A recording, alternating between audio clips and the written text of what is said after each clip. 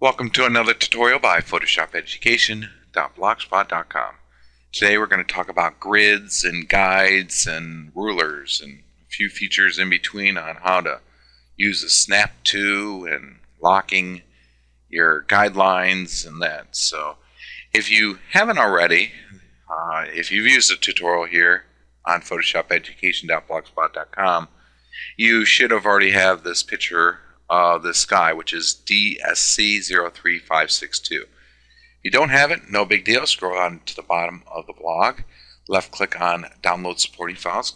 Go ahead and open this up in Photoshop, and let's get going. So, grids and guidelines and rulers, they all allow you to um, uh, precisely either cut or make a selection at a certain area or allows you to paste in a certain area so you keep a nice clean look to the image. Now for grids, let's go ahead and left click on view and you'll come down here and see show. I'm not left clicking anything here. It's just a, fly, a little sub menu and left click on grid.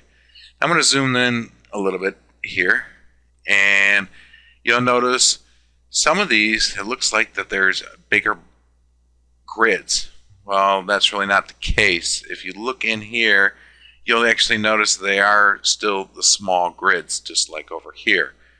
So that's that's really the grid. There's not much to it, but if you wanted to edit it, you really would like to zoom in and let's say I wanted to cut a certain area out and I wanted to be specific, I could left click in here and then drag it.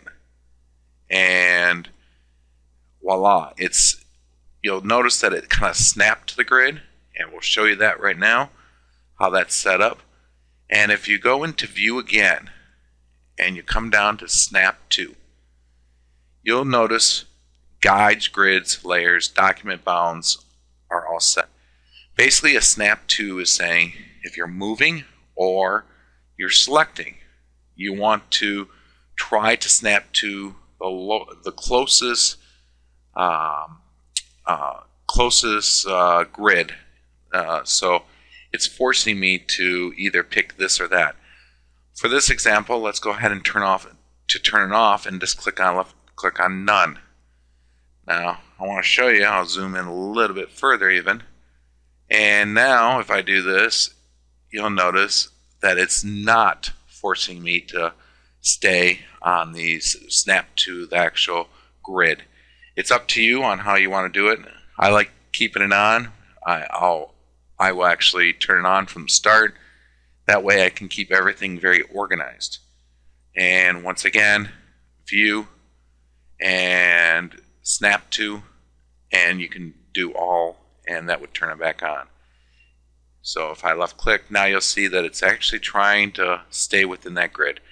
So that is grids and snap to. The next area you want to talk about is the ruler.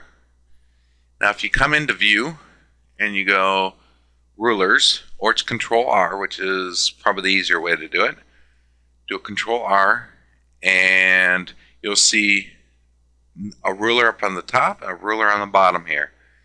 Now just want to point this out that currently this is in inches. Now, how do you know that uh, by default, Photoshop will actually put it in inches, but if you wanted to change it quickly, just right click on the ruler and you'll notice this checkbox that says inches. You can change to pixels or points or even uh, uh, millimeters. It's up to you. For now, let's leave it as, as uh, the inches and you'll see as you move over here, you'll see that it is actually showing you on the ruler where you're at. So if you needed to line something perfectly, this is the easiest way to actually align it. Uh, instead of doing it by eye, you could actually say, hey, I want it from 13 and a half to 15 and a half, and that's what you're going to pick. Uh, then you would be picking two inches. Now that's how you, that's a ruler. Once again, Control R turns it off, Control R turns it back on. The other area we want to show you is is lock guides. And before you can do a lock a guide, you actually have to make a guide. Now, what is a guide? A guide, guide is, we'll say it's a customized uh, grid. It's specific to what you're looking for. Maybe this is not perfect right here, this grid or this grid line, and you wanted to make it right down the middle. How you do that is if you come over to the actual ruler, now it's a little bit confusing, is the left ruler actually controls left to right, I mean top to bottom instead of left to right. So let's say I wanted a grid right in between there. It's nice because it creates a nice blue line and that's your grid. Just so you're aware, any of these grids, any of these guides, or any of the rulers are non-printable. So you won't actually, you might be seeing these grids on display, but when you go print it, you're never going to see it. So that's how you can do one up and down. How do you do the other? Really simple. Come up to the top, left click, come down, and voila, we just made a grid. Now that one I actually put on the grid line, so maybe I want to change that. How do you change it? If you come over to this move tool, which we discussed before, you'll notice when I hover over this, it changes the pointer. That means it basically you're going to be able to move it and adjust it. So if I hold down the left mouse, I come down just a little bit, and I release the left mouse, you'll now see a new grid is put right there. Once again, I could change this if I wanted to. Now, how do you remove guide, guides? Well, if you hold the left mouse button on it and you drag it back to the ruler and release it, it's now gone.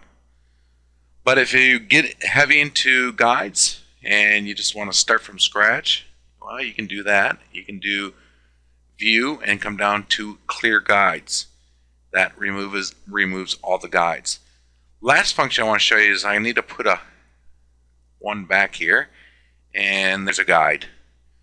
Let's say, uh, as you're aware, if I accidentally come over here and, and I'm editing the photo, not really paying attention, I could move that guide. Maybe I want to lock that down so you can't accidentally do it. Well, it's really easy to do it. Just come into view and this lock guides.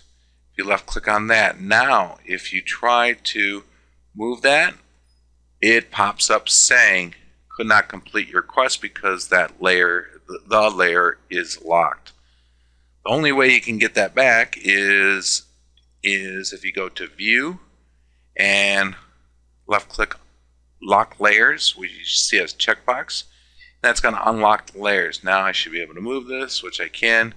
Voila, I've just unlocked the layers. So that's everything you really want to know about grids, guidelines, and even rulers. And you should get a good feeling of uh, what does this snap to feature do and how you can lock uh, guides. Uh, it, the, if you're doing an advertisement, it's almost impossible not to get away of using uh, grids or even rulers. But most of the people actually turn it on, turn it off. Now we didn't show you the the, the shortcut for guides. Um, we don't want to overload you, we'll say, with tons of shortcuts, but one, as I explained, was rulers, Control R. That turns off the rulers. We still see the guides. If you wanted to actually turn off guides, remember, you come down here, and click show and then guides. So, and you can see the shortcut key, but once again, we don't want you to overload you right now as, uh, as beginning to learn how to use grids. Left click that, you'll see this guide here, and I can even come up and do a view and then clear guides, and I'm back to square one. That's the, the three basic tools to align whatever you're looking for, either when you're copying and pasting, or which we showed you that selection, which is actually important to lock it down. Hope you enjoyed the tutorial, tutorial and have a wonderful day.